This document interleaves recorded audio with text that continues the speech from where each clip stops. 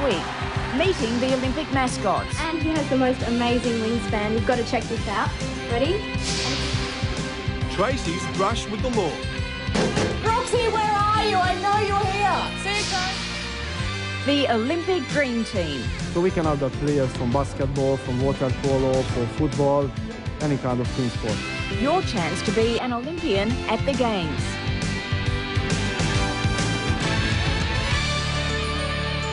Hello and welcome to the Games, where Australia's Olympic story unfolds each week. I'm Tracy Holmes. And I'm Neil Brooks. We've got a great show for you today. An Essendon primary school pupil follows in the footsteps of an Olympic great. I hope you can keep up with me. And country communities dig deep for the most glittering of Olympic prizes. Uh, we had uh, we had tingles going up and down our spine. That is a great story and it's a great project. The towns we're talking about will have a significant presence on the podiums in 2000. First, though, some glittering prizes that don't require you to compete at the Games. That's right, Olympic pins have become one of the hottest collector's items around. Passionate connoisseurs find the hobby simply irresistible. Simply irresistible.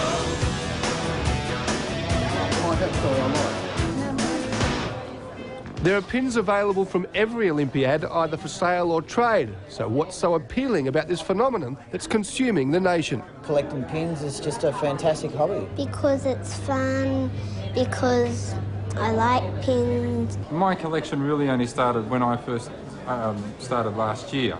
Um, I just started collecting pins then and just got hooked straight away. I like to keep them because they're very special to me. Pin collecting may be a weekend hobby, but there's also a healthy element of competition, and there's also the cost involved. What are you charging for a set? Ten dollars a pin. Yes, that's the um, that's the AMP tower pin with the nine carat gold and five diamond.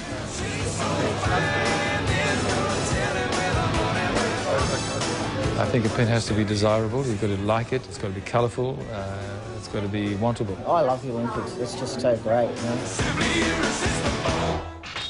Speaking of pins with a difference, check these out. Limited edition Dawn Fraser pins, and each of them contains a little bit of her DNA. Just when you thought too much Dawny wasn't enough, hey, we might be able to recreate her in a couple of hundred years. What do you yeah, think? Win a few more gold medals, why not? Plenty. She's got enough, isn't that for sure? Now, what about these ones, Trace? These commemorate 100 years of uh, Australia participating in the Games, and it's got the flags of each of the host cities that yep. has held the Games since 1896. And they are all there. Now, as you know, at an Olympics, it's like they're the unofficial currency, aren't they, pins? It's just amazing. And if you want to purchase a set of these pins, just check out our local website. And I tell you what, I think uh, I might start collecting now. Yeah, you're just thinking of the profits you can no, make. Can, oh, no. but that's not bad, because the more pins you buy, the more money through royalties that can go to our team to help them prepare for 2000. Well, talking about teamwork, now it's time for the Games News with Paul Marshall from the Seven Nightly News team. The latest addition to Olympic sailing, the 49er skiffs. And the Schneider 49er series was launched by the Australian Yachting Federation on Wednesday. Among the international crews, leading Australian contenders John and Gary Boyd. The 12 event series will be televised exclusively on Channel 7 from December the 19th. Our Sonia Kruger caught the latest in skiff sailing. I'd have to say the Australians are looking pretty good because of the 18-footer experience that they've had. Yeah. Olympic fever spread to Berlin when our own Tracy Holmes spoke live by satellite to more than 100 government officials, journalists and leading German athletes. We're well ahead of schedule, probably three months ahead of schedule in most cases. Tracy was asked to take part as an expert on Sydney's Olympic preparations. Fantastic. New plans now to destroy toxic chemical waste on site at Homebush Bay rather than removing it to a long-term storage facility somewhere else. There are currently 400 tonnes of excavated soil in a special holding area at Homebush. In men's volleyball, Australia play world number 8 Argentina tonight in Canberra at the Australian Institute of Sport. This is the final game in the build-up to the World Championships that will be held on Friday, November the 13th in Japan. And remember that public call for Olympic volunteers? SOCOG now says 41,000 people have put their hands up. They'll be getting special application forms starting next week. I'm Paul Marshall for the Games News. Still to come, we go to Melbourne to find out about our greatest Olympian never to win gold. And what the kids want from the Games. Kids Olympics. Yeah.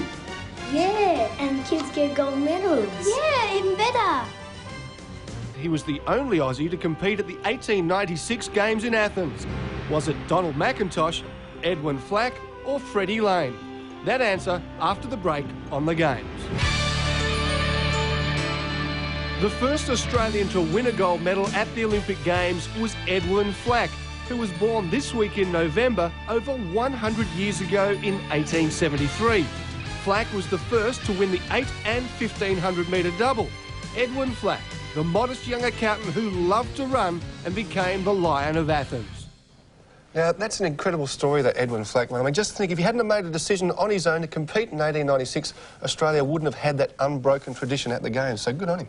Yeah, it's incredible. The names of Olympic heroes like Edwin Yeah. Flack, Dawn Fraser, Shane Gould, they certainly seem to stick. But how well do we know our Olympic mascots? Sam Riley hit the streets to find out. Uh, what are the names of the Olympic 2000 mascots? There's a couple, isn't it? There's three. There's three of them. I just, no, I can't remember any. No, I know one's a platypus. That's right. There's Willy. I don't know. Millie, Sid. They're like really silly names. and I can't think. I'll give you a hint. Ollie is one. Oh, Ollie Roo. He- he's Just either- Ollie. Yeah, Sid, Millie, and Ollie. Do you have any idea what the animals are? Uh, no. They're echidna. Mm-hmm. Possum. Koala. Emu's one of them, isn't it? A kangaroo. Wallaby. no, I have no idea. An echidna? Mm-hmm. A wombat? No, it's not a wombat, is it? Ah, no, definitely no wombats, but I know how he feels, Trace. I've felt like a bit of a wombat on more than one occasion. Now, the grown-ups didn't fare too well out there, but it was a very different story when we introduced a group of Sydney schoolchildren to Sid, Millie and Ollie. If the level of interest shown by these kids is any indication, the Olympic flame should continue to burn brightly well into the next millennium. This is AMP's annual Kids to Work Day, where the employees' offspring get a chance to see firsthand exactly where and how mum or dad earn a crust. This year has a distinctly sporting theme, enlivened by the presence of three Olympic and Paralympic medal winners Andrew Lloyd, Dominic Collins, and Matt Renshaw from the legendary Mean Machine. Um, well, because I was in swimming, I felt like a big fish. Even if they're too young to remember the actual events, they're old enough to appreciate the gleaming hardware that proves its owner was once the best in the world. See how that feels? That's a gold medal. There's no chocolate inside either, so don't go trying Not surprisingly, the only facet of the Olympics these kids were a little rusty on was history. They all knew the Games had been held once before in Australia, but as to the year, 1981. 36. and the biggest surprise of the day was a personal appearance. For the kids, it was a chance to be photographed with their favourite mascots. For me, this was a once in a lifetime opportunity to chat with the country's most famous wildlife.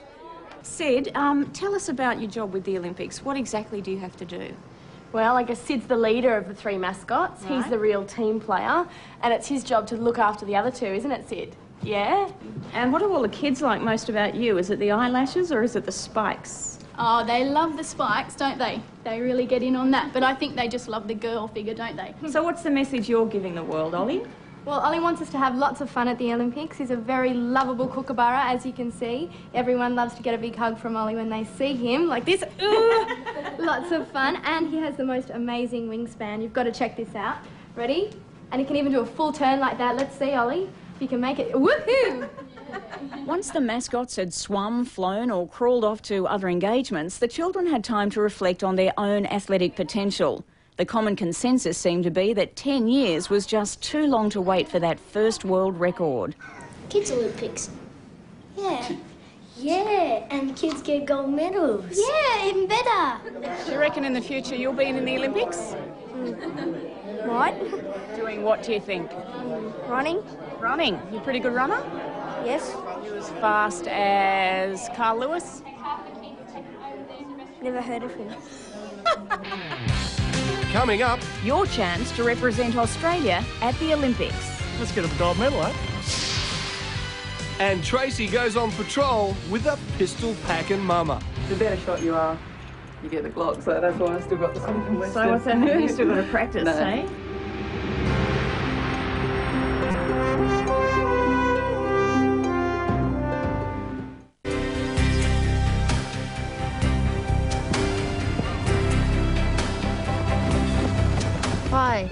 Carl Delmo. I go to Eskin Primary School, and our school's going to turn 150 in 2000, and that's when the Olympics are on.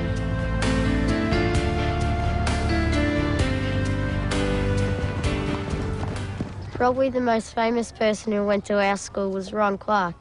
He lit the torch in the 1956 Olympics at Melbourne. He was probably one of the best runners in the world, and he also played footy and cricket just like me. Finishing 10 seconds ahead of Lindgren, he crosses the line in 12 minutes 52.4. I'll be running in the 1500 metre state championship. And after that, I'll be running in the 10k Olympic dream run with Dad. And I hope he can keep up with me.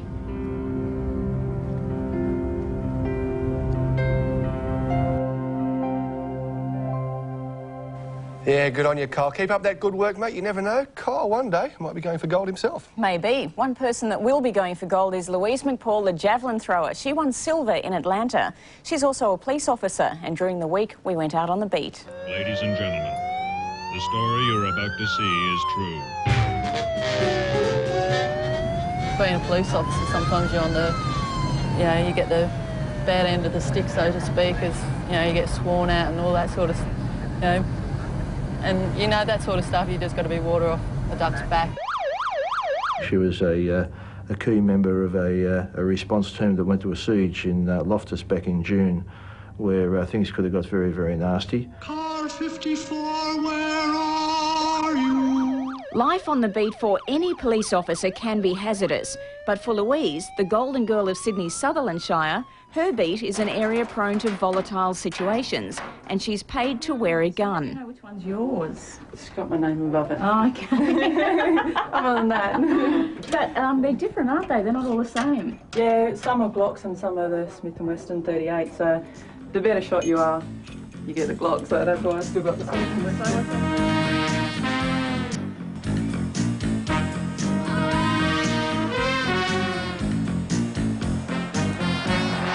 It's sailing out there.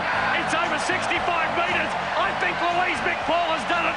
I think she's come through with a medal performance on the last throw. They call her the spear chucker, but you know she seems to like that one, so sort of stuck when she first got here. Oh, I've had the odd occasional um, random breath test where people say you're the you're the javelin thrower or spear chucker or something. Okay, you might have thrown your gun because you thought it was a javelin. Have you ever tried to fire a javelin? No, I'm not very accurate either way, so I don't think it really matters if I'm throwing or shooting, it's not going to work.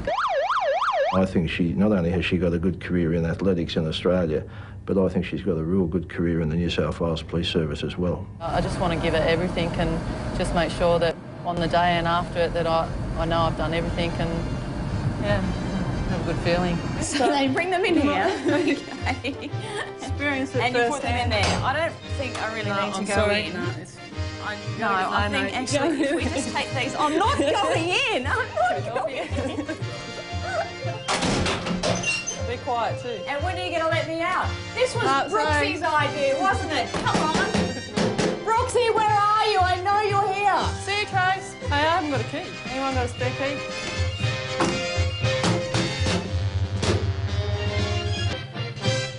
Ah, yes, there is a God. You didn't get the cake I baked you.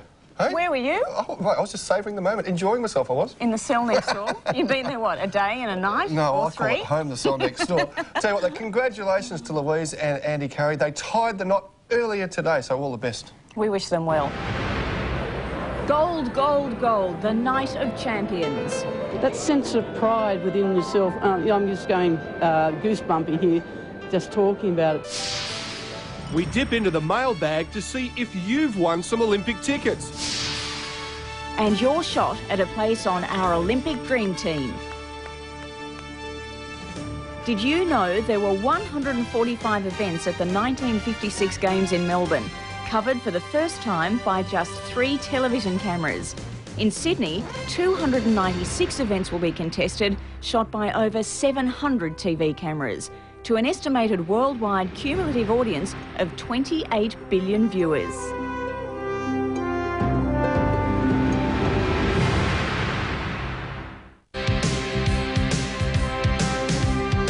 Welcome back to the Games. We've had a lot of mail this week, including some terrific letters and drawings. These were from children of grades 5 and 6 at the Quarry Hill Primary School in Bendigo, Victoria. Thanks, kids, and thanks to their teacher, Monique Tui. Our winners are Melinda Hope from Lavington, New South Wales, for this design of her torch. And Luke Powter of Queanbeyan is our other winner this week, with his great letter about Raelene Boyle. Melinda and Luke will be getting an Olympic pack as well as the chance to win Olympic tickets every week. The winners this week of tickets to the opening and closing ceremonies are Mr and Mrs Lieberman of Rose Bay and Edward Wang of Doncaster East in Victoria.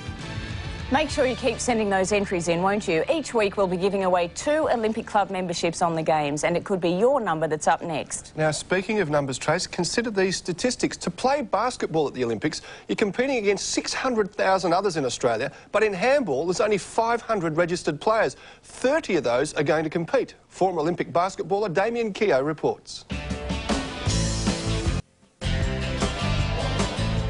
My first step to an Olympic comeback Sure, I've been to three Olympics with basketball, but this is going to be a breeze.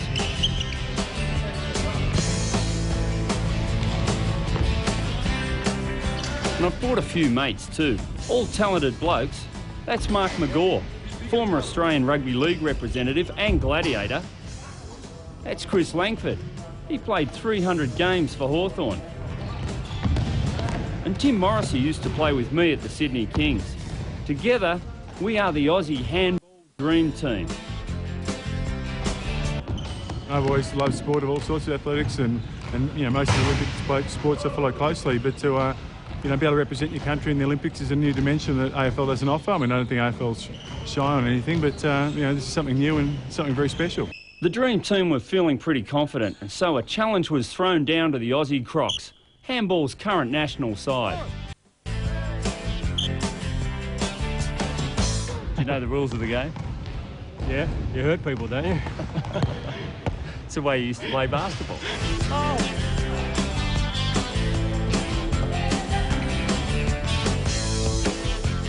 So Zoltan, would you like to see an Australian dream team in handball made up of these superstars from other sports? Well, if we can achieve the level of the American basketball dream team, the way they play basketball, we can play handball, I'm happy. You think Brooksy could get a game? Oh, I mean, you can only do so much, can't you? There's no water. I don't know, it's that big a step, you know. Mean Machine to Dream Team, I think I'm a chance. You? Yeah. The Dream On team. Has Mean Machine, maybe? the New South Wales country communities of Orange, Blayney and Cabonne are just beginning an innovative project which aims to see a local product become an important part of history. It's the same product that put this region on the map back in the 1800s, gold. The three councils plan to donate an amazing 10 kilograms of the precious metal. The